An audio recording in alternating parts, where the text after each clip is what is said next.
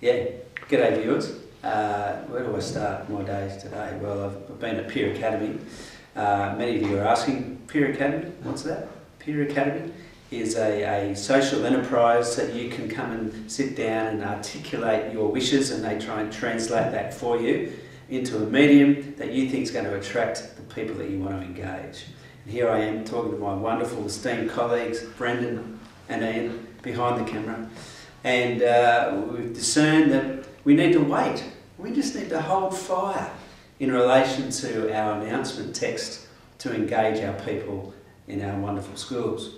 So you just have to wait a little bit longer. But what we can promise you is that we're going to bring to you a new way of engaging with the REA so that we can continue